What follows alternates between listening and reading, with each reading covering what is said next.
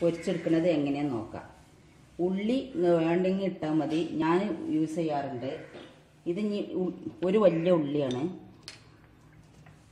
എരിവിന്റെ കാര്യം പറയുകയാണെങ്കിൽ ഞാനിതിൽ നല്ലോണം എരിവ് ഇട്ടിട്ടുണ്ട്. ഇതിൽ എട്ട് പത്ത് പച്ചമുളകുണ്ട് പക്ഷെ നിങ്ങൾക്ക് നിങ്ങളെ എരിവിനനുസരിച്ച് ഇട്ട് കൊടുത്താൽ മതി. ഈ കയ്പങ്ങയിൽ മഞ്ഞപ്പൊടിയും ഉപ്പും ഇട്ടുകാണ്ട് നല്ലവണ്ണം കുഴച്ച് വെക്കുക.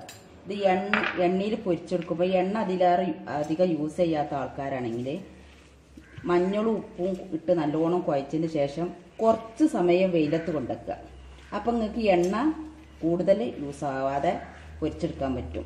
അല്ലെങ്കിൽ നിങ്ങൾക്ക് എണ്ണ നല്ലോണം ആവും. ഇത് നല്ലോണം കുഴച്ച് കൊടുത്ത് കുറച്ച് കഴിഞ്ഞ് ഒരു പത്ത് മിനിറ്റ് കഴിഞ്ഞതിന്റെ ശേഷം പൊരിച്ചാൽ മതി. അപ്പം നിങ്ങൾക്ക് ഇത് വേഗം പൊരിയാൻ പൊരിയും. എണ്ണ നിർത്തി പൊരിക്കൊന്നും വേണ്ട.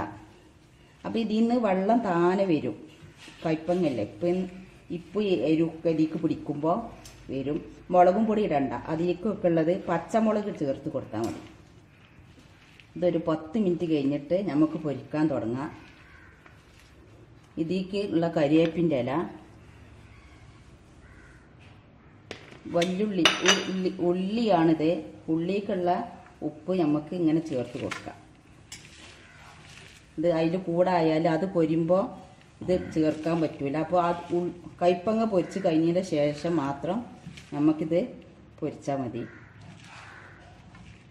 ഇപ്പം നമ്മളൊരു പാൻ വെക്കാൻ ചൂടായ ചട്ട് ചട്ടിയിലേക്ക് നമ്മളിപ്പോൾ എണ്ണ ഒഴിച്ച് കൊടുത്തു. ഇത് കൂടുതൽ എണ്ണ ഒഴിച്ച് കണ്ട് എടുത്താൽ ഇത് ലാസ്റ്റ് ആകുമ്പോഴത്തേന് ഈ എണ്ണ ഫുള്ളും കഴിയും. അപ്പോൾ നല്ലോണം ചൂടായി വന്നിട്ടുണ്ട്. അപ്പോൾ നമുക്കിത് പൊരിച്ചെടുക്കാം.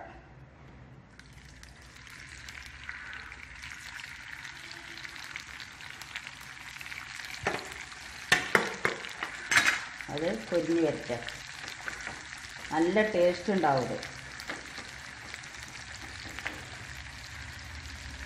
എല്ലാവരും ഉണ്ടാക്കാൻ ശ്രമിക്കുക. ഉണ്ടാക്കിയിട്ട് അഭിപ്രായം പറയുക. എങ്ങനെ ഷെയർ ചെയ്യുക. ഇപ്പോൾ പൊരിഞ്ഞ് റെഡിയായി തുടങ്ങുന്നുണ്ട്. പിന്നെ നിങ്ങൾ ഇത്ര തോനെ എണ്ണ ഒഴിച്ചിട്ട് മാത്രമേ ഇത് ചെയ്യാൻ പറ്റുള്ളൂ എന്ന് വിചാരിക്കണ്ട. അത് കാണിച്ചു തരാം മീൻ പൊരിക്കണ ചെയ്യാൻ പറ്റും. അപ്പോൾ എളുപ്പം ചെയ്യാൻ വേണ്ടിയിട്ടാണ് ഞാൻ ഇങ്ങനെ ചെയ്തത്. അപ്പോൾ ഇങ്ങനെ ഓരോന്ന് ഓരോന്ന് ഇങ്ങനെ ഇട്ട് കൊടുക്കണം. അപ്പോൾ ഓരോന്ന് മറിച്ച് കൊടുക്കണം. എനിക്ക് വേഗം പണി തീരാൻ വേണ്ടിയിട്ട് ചെയ്തതാണ് ഞാൻ തോനെ എണ്ണ അറിഞ്ഞാണ്ട് ഇങ്ങനെ മറിച്ചിട്ട് കൊടുത്ത് മീൻ പൊരിക്കണം അരി പൊരിക്കണം. പിന്നെ ഒരുപാട് സമയമെടുക്കും ഞാൻ പറഞ്ഞ മാതിരി എണ്ണ കുറച്ച് പൊരിക്കണം എന്നുണ്ടെങ്കിൽ ഈ ഉപ്പും മഞ്ഞളും തേച്ചതിന് ശേഷം വെയിലത്തൊന്ന് കൊണ്ടുപോയി വെക്കുക. ഇങ്ങനെ ഇത് പൊരിച്ചെടുക്കാൻ പറ്റും. വെയിലത്തുനിന്ന് കൊണ്ടേ വെച്ചാൽ പിന്നെ കുറച്ച് എണ്ണ ആവുള്ളൂ. അത് തോനെ നേരം ഉണക്കണ്ട. കുറച്ച് ഉണക്കിയാൽ മതി. ഇതിങ്ങനെ പൊരിച്ചെടുക്കാൻ പറ്റും മീൻ പൊരിക്കണ പോലെ. എനിക്ക് എളുപ്പപ്പണിക്ക് വേണ്ടി ഞാൻ ചെയ്യുന്നതാണ്. എരിവ് ഉപ്പൊക്കെ നിങ്ങളെ പാകത്തിന് ഇടുക. ഇങ്ങനെ ഓരോന്ന് മറിച്ചെടുത്ത് പൊരിക്കാൻ പറ്റുക അപ്പോൾ ഒരുപാട് സമയമെടുക്കും. അതുകൊണ്ടാണ് ഇങ്ങനെ തോനെ എണ്ണ ഒഴിച്ചുകൊണ്ട് ഞാൻ ചെയ്തത്. ഞാൻ അത് വിചാരിച്ച് എണ്ണ ഒരുപാട് വേണ്ടി വരും. എത്ര എണ്ണ വയറ്റിലാവുമല്ലോ എന്നുള്ള എനിക്ക് ഇതുണ്ടാക്കാതൊക്കെ ഉണ്ട കുറേശ്ശെ ഇങ്ങനെ പൊരിച്ചെടുക്കാൻ പറ്റും. ഇത് ഇതിങ്ങനെ പൊരിക്കാൻ പറ്റും. എല്ലാം ചോന്തിന്റെ ശേഷം മറിച്ചെടുത്താൽ മതി. ഉള്ളിയും തന്നെ വേണമെങ്കിൽ ഇട്ടാൽ മതി. ഞാനിടുന്നത് എനിക്കിഷ്ടമാണ് അതുകൊണ്ട് ഞാൻ ഉള്ളി ഇടാറുണ്ട്. മുളകും എരുവൊക്കെ പിന്നെ എരിവുള്ള മുളകാണെച്ചെങ്കിൽ അതിനനുസരിച്ച് ഇടുക. നിങ്ങളെ ഇഷ്ടം പോലെ ചെയ്യുക. മുളകും പൊടി ഇട്ട് പൊരിക്കരുത്. അപ്പോൾ മുളകും പൊടി ഇട്ട് ഇങ്ങനെ പൊരിച്ചാലും എണ്ണയിലിട്ട് പൊരിച്ചാലും എന്താവും വിചാരിച്ചാൽ അത് വെളിച്ചെണ്ണന്റെ അടിയിലേക്ക് ഇറങ്ങിപ്പോവും. എണ്ണ കാറുക ചെയ്യുക ഇത് വേണ്ട. ഇങ്ങനെ പൊരിച്ചിട്ടും റെഡിയായി കിട്ടിയിരുന്നു പക്ഷെ ഓരോന്ന് മീൻ പൊരിക്കണ മാതിരി ഓരോന്ന് ഓരോന്ന് ഇട്ട് കൊടുക്കണം. അത് എനിക്കൊരു കരിയാടായി തോന്നിയിട്ടാണ് ഞാനത് അങ്ങനെ ചെയ്യാത്തത്. നിങ്ങൾ ഇങ്ങനെ പൊരിക്കുകയാണെങ്കിൽ ഒന്ന് പറയാനുള്ളത് വെച്ചാൽ അതിൽ നമ്മൾ ചേർത്ത് കൊടുത്ത മുളക് ഇങ്ങനെ ഇട്ട് കൊടുക്കരുത്. അത് വെന്ത് കിട്ടൂല അപ്പം നിങ്ങൾക്ക് എരുണ്ടാവില്ല അതെന്ത് ചെയ്യണം? അപ്പോൾ അത് ഇങ്ങനെയാണ് നിങ്ങൾ പൊരിക്കണമെന്നുണ്ടെങ്കിൽ മുളകൊക്കെ പൊറുക്കി വെക്കുക. അല്ലെങ്കിൽ ഇങ്ങനെ പൊരിച്ചാൽ ഇടുന്ന സമയത്ത് മുളകില്ലാതെ പൊരിക്കുക. പിന്നെ ലാസ്റ്റ് മുളക് ഇട്ട് കൊടുത്താൽ മതി. അല്ലെങ്കിൽ ആദ്യം മുളക് ഇട്ട് പൊരിച്ചതിന് ശേഷം ആ എണ്ണയിൽ നിന്ന് മുളക് എടുത്താൽ മതി ഇതാ ഇതിപ്പോൾ അതേപോലെ ക്ലിയറായി പൊരിഞ്ഞ് പൊരിഞ്ഞേക്കണം. ഇനി ലാസ്റ്റാണ് ആ ഉള്ളി ഇട്ട് കൊടുക്കുന്നത് പിന്നെ വേറെ ഒന്ന് എണ്ണയിൽ പൊരിക്കുമ്പോഴേ എണ്ണ ഇതിൽ നിന്ന് പോരാൻ വേണ്ടിയിട്ട് എന്താ ചെയ്താൽ ഇത് ഇങ്ങനെ വെച്ച് കൊടുക്കുക. ഇങ്ങനെ വെച്ച് അവിടെ ഗ്യാസ് കത്തിയാൽ അതിലെ എണ്ണ ഫുള്ളും ഇതിക്ക് ഇറങ്ങി വരും. അപ്പോൾ ഇതായി നമ്മൾ എണ്ണ തേച്ച് പൊരിച്ചതാണ്. അതിൽ നിന്നുള്ള എണ്ണ വരെ ഇറങ്ങി വരുന്നു അവിടെ കത്തിച്ച് കൊടുക്കണം കണ്ട?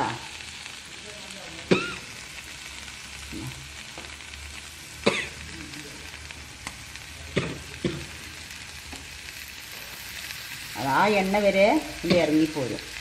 അത് തോന എണ്ണയിൽ പൊരിക്കുകയാണെങ്കിലും ഇങ്ങനെ കാട്ടിയാൽ മതി.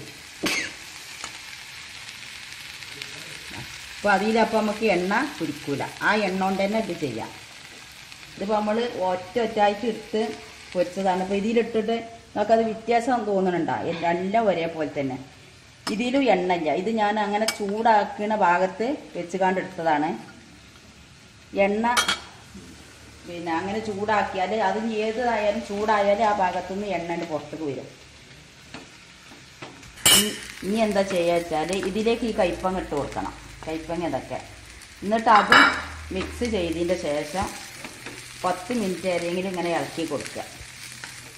അപ്പോൾ ആ ഉള്ളിന്റെ ടേസ്റ്റൊക്കെ തീക്ക് പിടിക്കും. ഉള്ളി ഇടണ ഇടുന്നുണ്ട് എന്നുണ്ടെങ്കിൽ. ഇടണില്ല എന്നുണ്ടെങ്കിൽ പിന്നെ ആ കുഴപ്പമില്ല. മുളക് ചേർത്തത് ഇങ്ങനെ മിക്സ് ചെയ്ത് കൊടുത്താൽ മതി.